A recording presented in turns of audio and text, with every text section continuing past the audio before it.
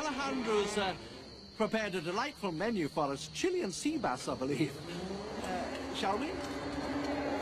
Our adventurous guests, of course, can opt for our Jungle River cruise or for a close-up look at our majestic... Hey, what's up, guys? Welcome back to Binge. Oh, look at this. We got some free pie here. I've never been one to turn down free pie, especially when it's got so much delicious whipped cream on top. Gotta get some extra whipped cream. We get to cooking in a second because. Oh, God, that's shaving cream. That is shaving cream. What kind of monster would do something like that? I don't know, but I definitely needed something to get that flavor out of my mouth. How about some Chilean sea bass? Which, as it turns out, is listed on the fake menu on the fake Jurassic Park website, so I can recreate it with some accuracy. First up, we gotta make some crispy sweet potatoes, which I'm going to put through a spiralizer, and then I'm gonna coat them in a cornstarch slurry out of cornstarch and water, which if you don't add enough water, it's fun to poke at. Nice science project for the kids. But we're gonna add a little bit more water, so it is in fact a slurry, into which we are going to deposit our sweet potatoes. Give them a little toss to coat, and then over on the stove I have some vegetable oil heated to 350 degrees Fahrenheit. We're gonna drop our potatoes in here, try to keep them separate. If you can, they're gonna stick together, but we can separate them later on, so don't worry too much about it. And then we're gonna let them fry for a solid three to five minutes until they're just starting to darken and they are nice and rigid and crispy. At which point we are evacuating them onto paper towels to drain, and then while they're nice and warm, this is your opportunity to get them separated, and your opportunity to season them with kosher salt, because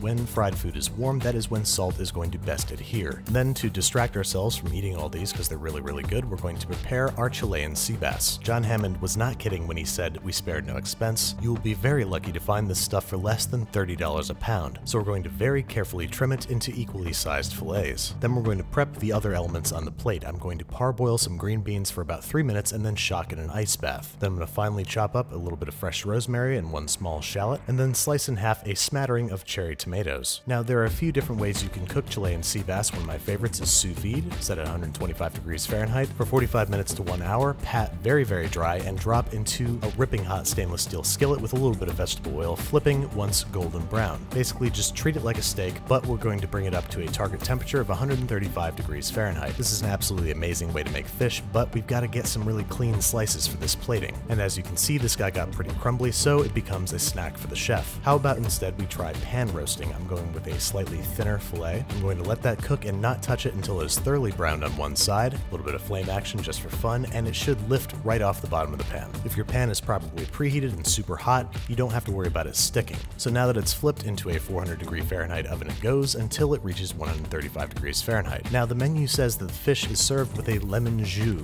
so we're going to dab away some of the extra fat and make ourselves a little pan sauce. First over medium heat we're adding our shallot to the party, sauteing for about one minute before deglazing with some nice dry white wine and a little bit of chicken stock, maybe a half cup each. And then you guys know what comes next. We're scraping up all that fond courtesy of Tiny Whisk. Once we got all that good stuff off the bottom of the pot, we're going to add our finely chopped rosemary, and then we want to let this guy reduce by about half until it's nice and thick and syrupy. At this point, we're going to add a little bit of freshly chopped parsley and the juice of half a lemon. Stir this a little bit to combine, and then this becomes the perfect environment in which to reheat our chilled green beans. Season with a little bit of kosher salt, freshly ground pepper, let those flavors get to know each other, remove the green beans from the equation, and then it's time to finish our pan sauce with what else but butter. Kill the heat, add about two tablespoons, give it a tiny little whisk, make sure everybody's good and emulsified and thickened. You want this to coat the back of a spoon or slowly drizzle down the bottom of the pan. And now at long last, it's time to plate up. Let's start with a pool of our lemon jus. I should have made probably about twice as much, so just go ahead and double this recipe. And then using the sharpest knife we've got, we're gonna cut our Chilean sea bass into strips for its extremely over-the-top 1990s plating.